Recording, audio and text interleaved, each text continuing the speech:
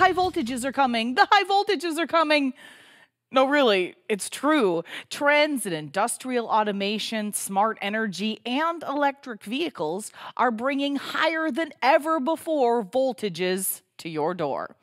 Or maybe your nearby factory or EV charging station. I don't really know how exactly close they are to your house.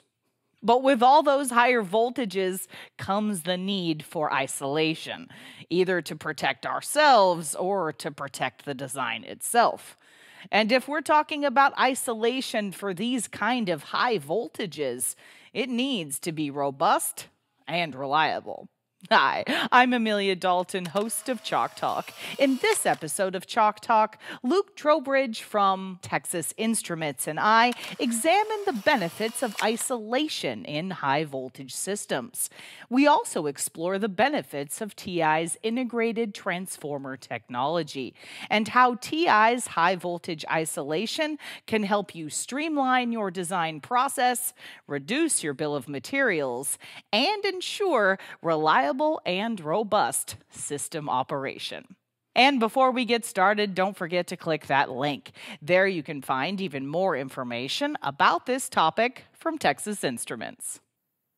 Hi, Luke. Thank you so much for joining me today. Hi, Amelia. Glad to be here. So, Luke, we're talking about high voltage isolation for reliable and robust system operation today. But before we dig into the details, where are you seeing isolation playing a big role in these days? Oh man, we're seeing a need for isolation in so many different applications. Somewhere isolation has been a requirement for many, many years, and somewhere the requirement is new and going through constant changes. I'm showing here just six of the key sectors where we see isolation as a key design consideration for our customers. But the list continues to motor drives, power delivery, test and measurement, and so on.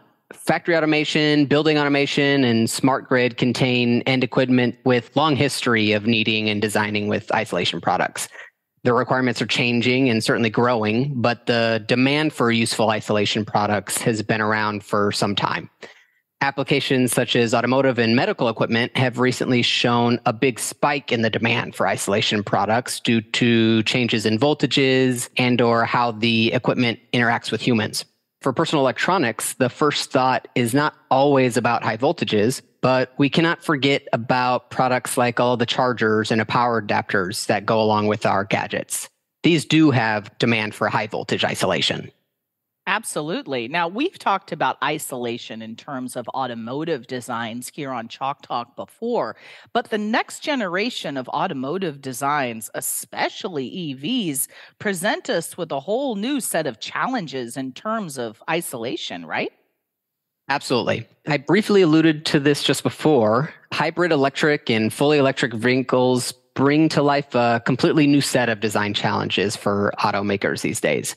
We've seen a long evolution from just hybrid cars, batteries, to the first fully electric vehicles, to the future demands for next generation electric vehicles.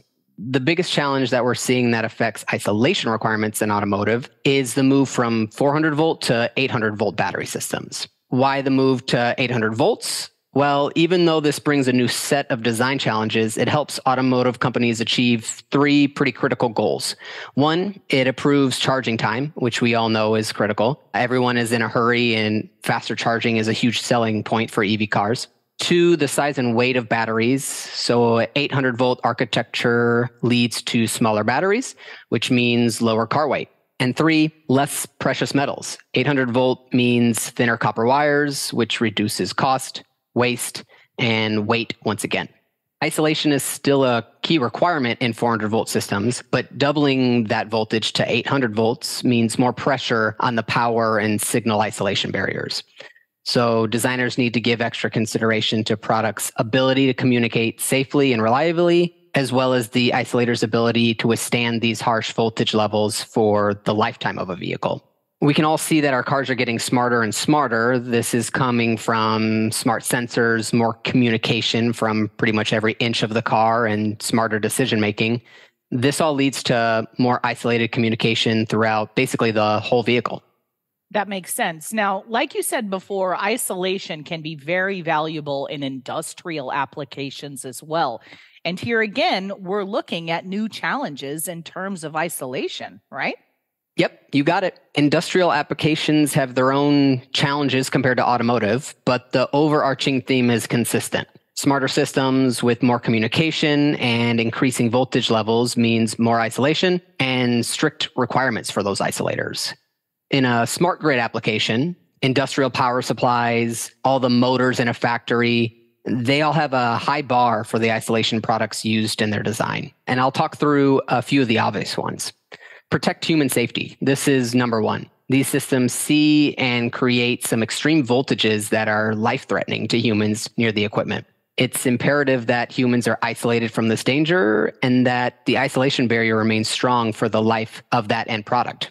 Next is ground loops or ground potential differences. These end equipments are operating in extremely noisy environments, and it's critical that the data they're communicating with themselves is accurate and dependable. Eliminating ground potential differences in these communication paths increases the reliability of the communication, and isolation achieves this. Next, high side components are critical to the effectiveness and efficiency of a motor drive system, and the communication between the low side and high side must be isolated. We want to make sure the isolation is doing its job protecting the low side from high side voltage spikes, but essentially staying out of the way when it comes to the communication we don't want the isolation to slow down the communication, interfere with the signals, or take up our whole board space or cost budget. And lastly, I'll mention CMTI or common mode transient immunity. Similar to my point on ground potential differences, these environments are noisy. Common mode transient immunity is defined as the maximum tolerable rate of rise or fall of the common mode voltage applied between the two isolated circuits. The unit is normally in kilovolts per microsecond or volts per nanosecond. And high CMTI means that the two isolated circuits, both the transmitter side and the receiver side, function well within the different datasheet specifications without error when striking the insulation barrier with very high rise positive slew rate or high fall negative slew rates. As switching frequencies continue to increase in FET driving applications, so do the requirements we're seeing for CMTI of an isolator. You can think of it as another metric for how robust the isolator is to noisy environments. Okay, so Luke, isolation is a hot issue now, but TI has been working on isolation technologies for a lot of years, right? You bet. I'm showing here a timeline of some of our prouder moments in the history of our isolation technology and the product offerings at TI. Almost two decades ago, TI made the commitment to grow its manufacturing processes and analog, especially developing isolation manufacturing technologies and integrated circuits for high voltage systems.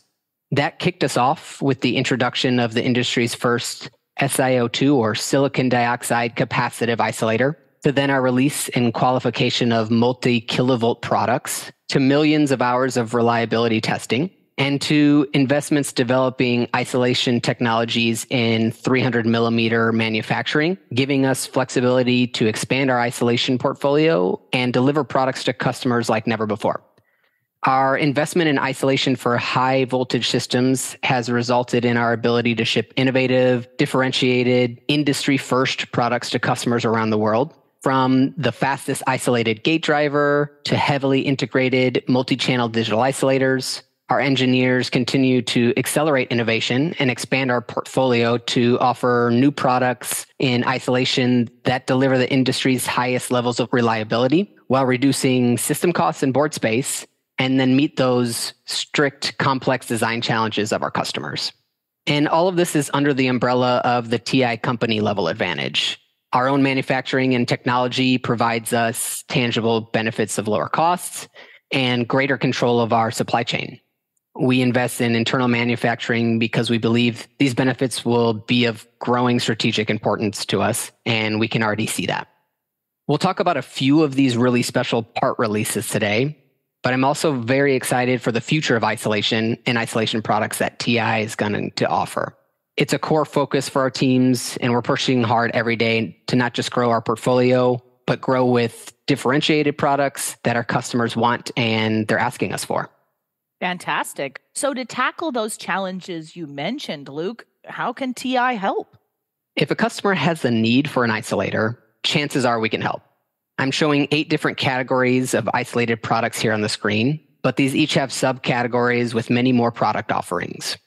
For example, the power for signal isolators is a really broad category or topic. How our customers achieve isolated power varies dramatically from system to system, and our approach is to have all the options available. It can be a high power discrete flyback topology, a simple yet discrete transformer driver, or one of many integration paths like an isolated bias supply module, or even three in one products that combine isolated power, isolated data, and a communication transceiver like RS45 or CAN. The goal is to give customers the option to find the best fit for their design. 10 years ago, this offering would not have been this broad, but now it is and it continues to grow, which I feel speaks to the investment TI is making in isolation as a whole. So, yes, we want to create all these different product offerings, but we still want to stay true to our key isolation values. That's very high and reliable working voltages, long product lifetimes, and increased integration to help simplify the design process, reduce board space, and help customers reduce cost. Okay, so I think it's best if we actually jump into a few of these new products and really show you what we mean. I've selected three of our new product families to highlight today, focused on both power and signal isolation. So I will spend some time introducing TI's new family of solid state relays, the TPSI 3050 and the TPSI 2140. Then we will look at the ISO W products, ISO W 7741, ISO W 1412, and ISO W 1044, where integration is the play. These are the products I mentioned before, integrating power isolation, data isolation, and a transceiver. And lastly, I'll talk through are UCC 12050 and UCC 14240 isolated power modules or isolated bias supplies, which are a great way to plug and play isolated power. Okay, so Luke, can you talk a bit about those first two solid state relays you mentioned? Yeah, let's jump into it. So the new TPSI 3050 and TPSI 2140 devices represent our isolated switch and isolated switch driver families. And maybe let's start with the question what is a solid state relay? These devices are meant to turn on or off high voltage power systems and are an alternative to mechanical relays or photo relays. As the different system and end equipments we have been discussing adopt higher voltages, they need higher reliability. And one way to achieve this is to move from a mechanical relay to something that is solid state with no moving parts. And in general, we see the market moving towards solid state relays on a pretty significant scale. Our solutions offer an isolated switches family with integrated FETs, as well as family for drivers to control external silicon carbide or IGBTs. They integrate both power and signal transfer and offer the lifetime smaller solution size and overall isolation reliability that the market is demanding. The two devices that I'm highlighting today are both Q100 qualified for automotive applications, where we are seeing a need in end equipments like battery management systems, BMS systems, and traction inverter. But there is also significant use in the industrial markets we've been discussing, like factory and building automation and energy storage systems and solar inverters. So we do have a catalog version available in this product family. So, Luke, what kind of benefits are we really looking at here? Let's talk about those benefits and why it really matters. So, firstly, these devices combine power and signal into one chip. This helps with lowering system cost and certainly solution size. Discretely implementing a SSR requires both a power supply and gate driver, but these are a great way to simplify when switching on and off high voltage systems what else can we integrate or eliminate?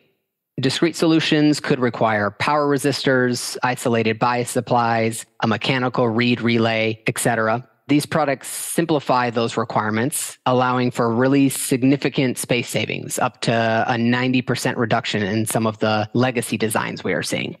Next is the lifetime of these products. Most electromechanical relays are rated for a number of switching cycles, which is usually in the 200,000 cycle range, while our devices can switch millions of times over their lifetime. The mechanical relay solutions are generally limited in temp range, as well as begin to degrade at those higher temperatures. The TPSI devices can operate at high temperatures, and they're spec'd at 125 degrees C ambient. The last benefit that I'll mention here, but this certainly is not a conclusive list, is the TPSI 2140 was designed for measurements in high voltage battery management systems. And its features such as avalanche current capability allows designers to optimize their system to quickly detect faults. Whereas photo relays are limited in their avalanche capability, so larger resistor values must be used, resulting in slower measurements. Overall, these devices really offer a strong reliability benefit over existing mechanical or photo relay solutions, then smaller solution size and lower cost. Okay, so Luke, if my audience wants to get started using these new solid state relays, where should they start? Good news is we have lots of resources readily available on our website. First, I will mention that these devices, the TPSI 3050-Q1 and TPSI 2140-Q1, are available for sampling on TI.com and reiterate that we have more products coming out, expanding the portfolio in both automotive and catalog industrial grades. We also have evaluation modules available for both products so engineers can quickly test out the performance and features of the device then I just recommend checking out everything we have to offer at ti.com slash SSR. We have developed a lot of reference designs that are a great jumping off point. We have several calculator tools and PSpice models available as well. Fantastic. Now, Luke, you also mentioned new digital isolators with integrated power. So, can you give me some more details about those as well? I sure can. So, let's talk about these ISO-W parts. I will start by mentioning that the internal architecture of a digital isolator consists of two separate digital integrated circuits on a split lead frame with a high voltage isolation dielectric barrier between them. So each IC requires a separate power supply and ground for both the primary and secondary side of the device with no physical connection between them. This requirement is independent of whether a device supports basic or reinforced isolation and applies to digital isolators as well as isolated devices with integrated interfaces. This is one of the reasons a designer may need to add an isolated power supply if power is not readily available on both sides of the isolation barrier. And there are a lot of ways to achieve an isolated power supply, but an all in one integration solution is what we have to offer with these ISO-W parts shown here today. They feature an integrated DC DC converter. I'll start by reading the italicized bullet at the top right of the screen. To be truly useful, an integrated power and signal isolation solution must offer high efficiency, high power delivery, and low emissions while offering high isolation performance. That's a big ask for one heavily integrated device. But this new family delivers, particularly in the low emissions. So the family offers a standard digital isolator with integrated power, with either two or four channel options. The ISO W7741 represents a four channel version from this catalog of devices. Then two more devices further integrating transceivers. The ISO W1044 integrates an additional controller area network or CAN transceiver. And the ISO W1412 integrates an RS45 transceiver. These devices are designed to meet CISPR 32 Class B limits with a significantly smaller solution size than discretely designed alternatives. The benefit of eliminating the need for a transformer on the board, the reduction in board size, and improved ease of certifications are often considered worthwhile trade offs to achieve a high performance design in the smallest footprint possible. So while discrete solutions may provide higher efficiency and lower radiated emissions in some cases, the space savings and certification simplifying benefits ultimately enable a faster time to market. Cool. So let's get into more of the benefits here. What specific benefits are we looking at for these new digital isolators? The first I already mentioned compact design and lower cost. Transformers or modules used for isolated power typically occupy a large space on the board, not only in the X and Y dimension, but also in height. For applications where the boards are stacked next to each other, this transformer height often dictates the spacing between boards. By using planar transformers within the standard SOIC package, the ISO-W products reduce board space by almost 48% when you compare it to those discrete solutions. You can see an example of this in the PCB images in the bottom right of the screen, with the discrete solution on the left and the integrated solution on the right. The discrete solution requires various external components consuming a lot of PCB space. Next is emissions. CISPR 32 is an electromagnetic compatibility standard for multimedia equipment. This includes information technology equipment, audio equipment, video equipment, broadcast receiving equipment, and entertainment lighting control equipment. CISPR 32 considers two classes of end user terminal equipment Class A devices are those that are marketed for use in a commercial, industrial, or business environment. And Class B devices are those that are marketed for use in the home. Class B limits are more stringent than the Class A limits. And these new devices really deliver on low emissions. The plot on the top right shows them clearly passing the CISPR 32B line requirements with margin. They can meet these requirements all while using just a two layer board and for any load conditions or voltage levels some diagnostics that have also been included in these products to verify that the system and product is behaving as expected. The enable DC DC faults protection pin is used as either an input pin to enable or disable the integrated DC DC power converter or an output pin to alert if the power converter is not operating properly. If a fault is reported, this pin will go low, disabling the DC DC converter to prevent severe damage to the product or any downstream components. Since these products separate the logic and power paths, that enables a wide logic supply range of 1.71 volts to 5.5 volts and a power converter supply range of 3 volts to 5.5 volts. So, for example, this allows the power converter to function at 5 volts in and 5 volts out while providing as low as 1.8 volt logic to the secondary side components such as an ADC. The ISO W7741 also improves the V ISO out load regulation from 10% to 5%, which is important to a system so that a stable voltage supply is provided to the secondary side components as load changes occur.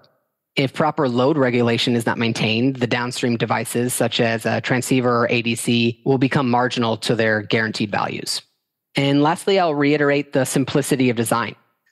Isolation has steadily grown as more and more systems are being driven to higher voltages and need to communicate across multiple voltage domains. The addition of isolation and isolated power complicates the design process for signal chain designers who traditionally did not have to worry about power supply designs.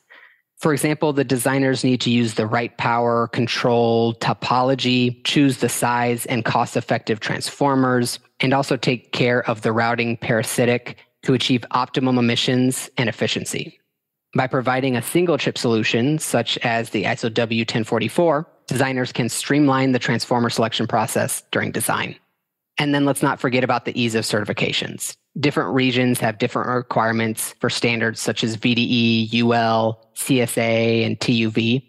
And discrete solutions put the onus of finding the right transformer on the designers. The integrated solutions are certified by these agencies already, and thereby speeding up the design and time to market. Fantastic. Okay, so Luke, do you guys have any eval modules for these digital isolators as well?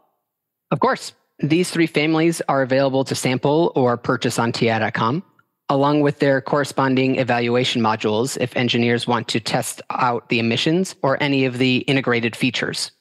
We have a lot of resources readily available at ti.com slash isolation to help designers learn more about these products and make smart design decisions so they can design quickly and move on to more taxing problems.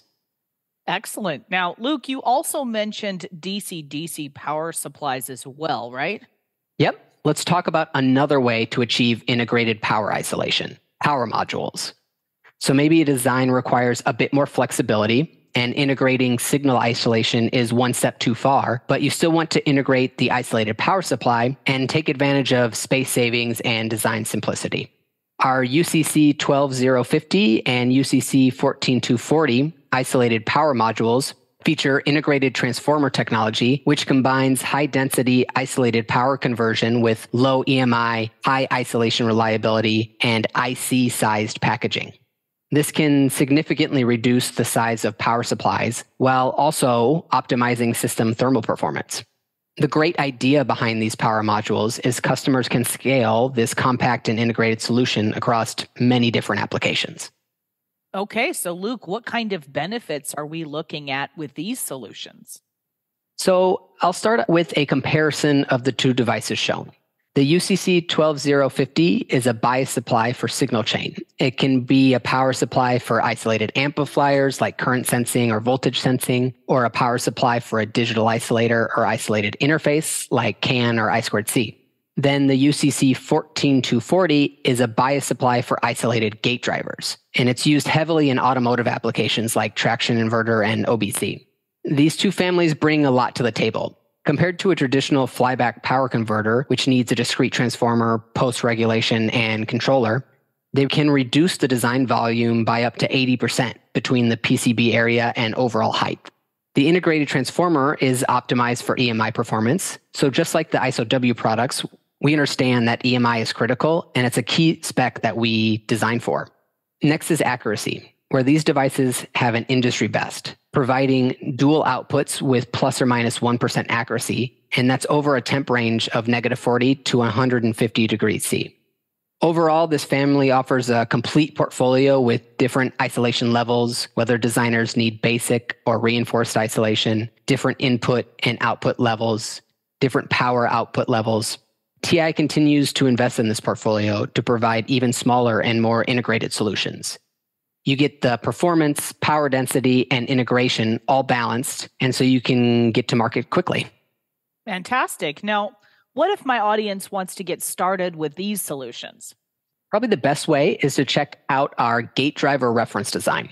This reference design combines a functional safety rated isolated gate driver with the UCC 14240 isolated bias supply. It's for use in powertrain EV applications like traction inverter and OBC.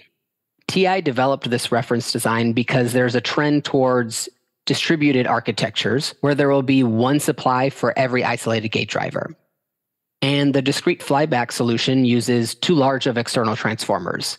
Adding a distributed architecture helps with overall system reliability, and providing a lightweight solution to this problem is critical.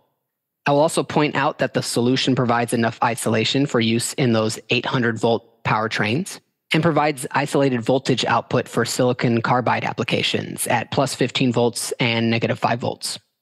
Okay, well, Luke, what would you like my audience to take away from today's Chalk Talk?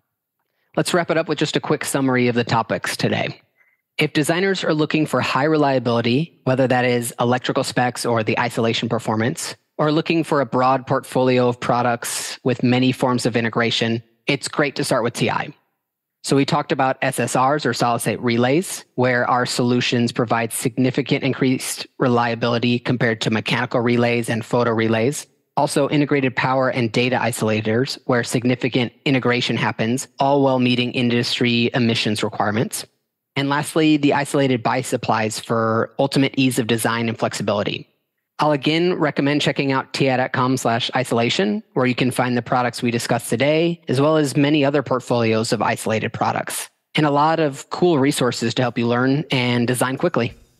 Fantastic. Well, Luke, it was a pleasure speaking with you today. Thank you so much for joining me. Absolutely, Amelia. Thanks for having me. And before we go, you didn't forget to click that link, did you? There you can find even more information about this topic from Texas Instruments. For Chalk Talks, I'm Amelia Dalton from eejournal.com. For more Chalk Talks, head on over to the Chalk Talk section of EE Journal. You can't miss it, it's right across the top. Or head on over to YouTube, youtube.com slash EE Journal.